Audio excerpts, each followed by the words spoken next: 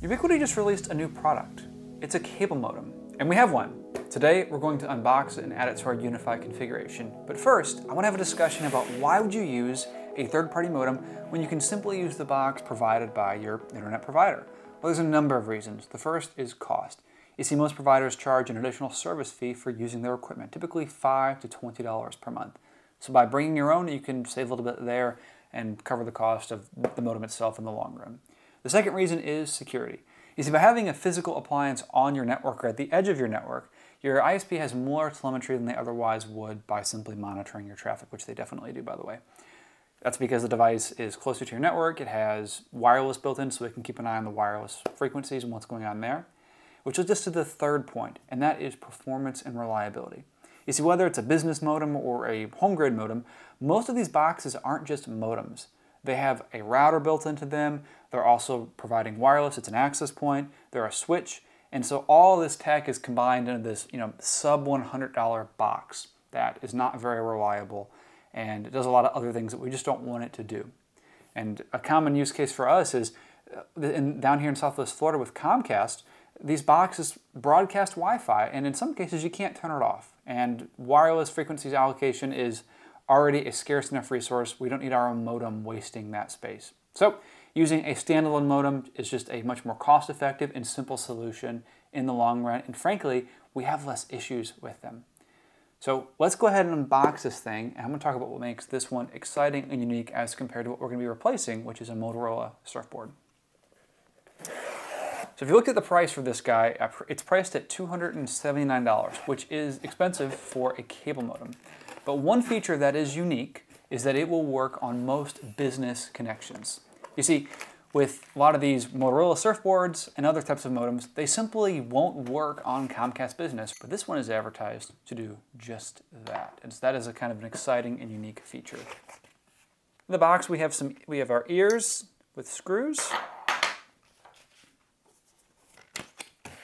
It's heavier than I would expect. To be honest, I never thought I would see that on a Ubiquiti product.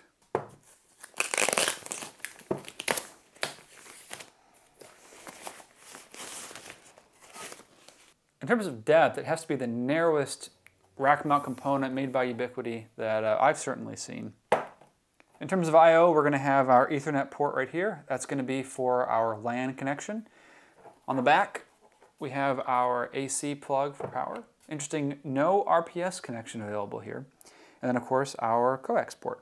This will work for a DOCSIS 3.1, which is essentially gigabit speeds, although we all know that gigabit on coax is really a lie, but it will support some of the latest, uh, the latest technology in terms of coax speed.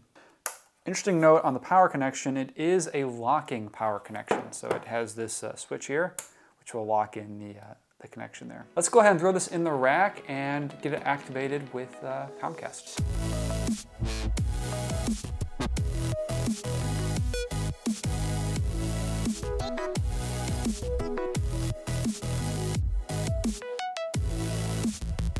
I just finished installing the modem into our rack and unplugged our coax connection from our old surfboard into the new UniFi cable modem, and we have no internet. This is because we're going to have to activate the modem with our ISP, but first, let's go ahead and log into our Dream Machine to take a look at the settings and I imagine adopt the device. Now, since we don't have an internet connection, we're not going to be able to go to unifi.ui.com. Instead, we're just going to enter in the IP address of our UniFi gateway.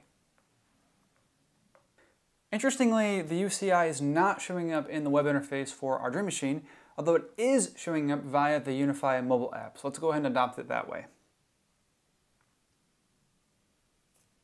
We'll go and activate it. It looks like the device has adopted. Now, we still need to activate it in order to get our internet connection actually working again, and for that, we're gonna need our MAC address right here. Now this process is going to vary a lot depending on your ISP. If you're unsure, you can call them and say that you want to activate a modem. All they're going to need from you is your MAC ID and maybe some other information like your account number in order to validate that you are who you say you are. In our case, since we have Comcast, we can actually activate this using the Xfinity mobile app. Now if you happen to have Comcast like me, I'm actually going to show you how to activate this modem, but if you don't, go ahead and skip ahead to this time right here. I've got the Xfinity app open and it is telling us that we don't have internet. We're going to go over to the account section and then we're going to scroll down and we're going to click on Activate XFi Gateway or Modem.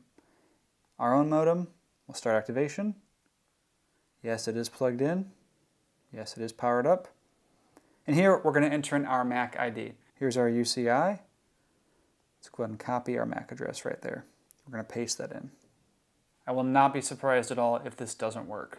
Okay, it says estimated time is 11 minutes, so I'm gonna go get a cup of coffee and I'll be right back. The next day.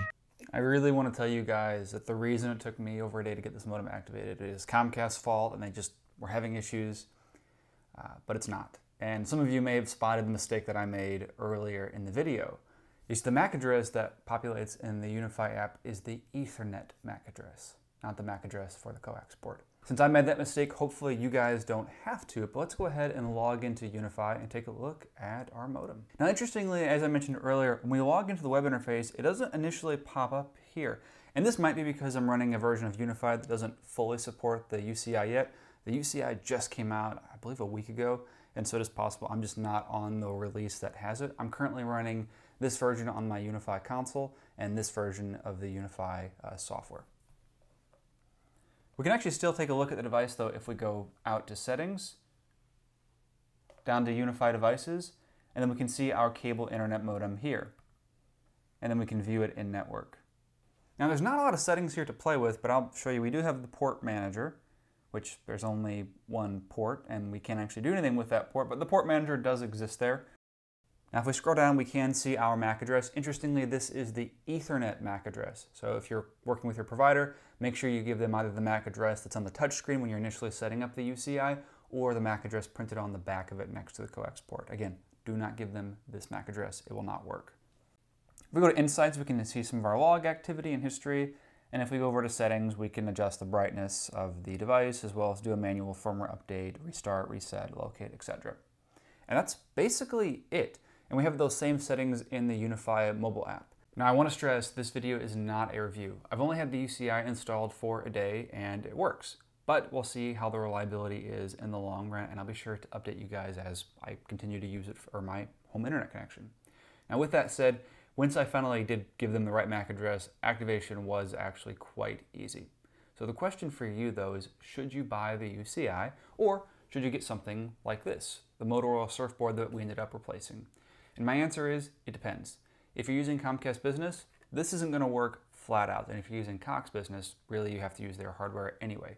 So if you're in a Comcast Business situation, it's an easy sell. Get the UCI, get rid of Comcast hardware, use a complete Ubiquiti stack. What about home use though?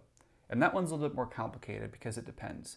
If you really want everything to be rack mounted, then the UCI might be worth it to you for the $100 additional premium on top of this guy here. And it does look really clean, I must say. Going from having this thing zip tied down and velcroed in my rack to everything being rack mountable, it looks really clean. But this guy has accomplished the job just fine over the course of years. I've never had to replace this or do an RMA or, or anything. It's a really rock solid piece of kit for I think $129. Now, I've actually worked with a number of you guys who are in fairly rural parts of the country, and interestingly, very often you have fiber internet, whereas folks like me in the city don't. And there's kind of two reasons for that. Number one is there's been a lot of federal grants for infrastructure in rural areas, particularly for fiber internet. The other reason is that in the cities, there just isn't competition. In my case, the only alternative is a DSL connection, which isn't great, especially those upload speeds. So for me, really the only option is a coax connection. Although hopefully that will change in the future as we're seeing a lot of competition starting to occur here in Southwest Florida with providers like Summit, Bluehost, and even Hotwire. Not to mention Starlink and these 5G providers that are coming out with uh, you know, Verizon and T-Mobile really trying to get into the home internet space. So hopefully in the future, we won't need cable modems at all and we'll be able to use fiber optics. But until then, we still need to use a modem. And so should you go with the UCI? Well, like I said, it depends. If you're in Comcast business, I would recommend you get it. If you're on a home connection, I think it depends on how OCD you are. Me, I'm very OCD, so I certainly like not having this thing zip tied into my rack. But as far as performance goes, time will tell, and I will be sure to give you guys an update in maybe a year from now as I have more experience with the UCI and can better compare it to my old faithful Motorola surfboard that I've had kicking around for years. Well, I hope you guys enjoyed this unboxing, and until next time, I will see you guys in the next video.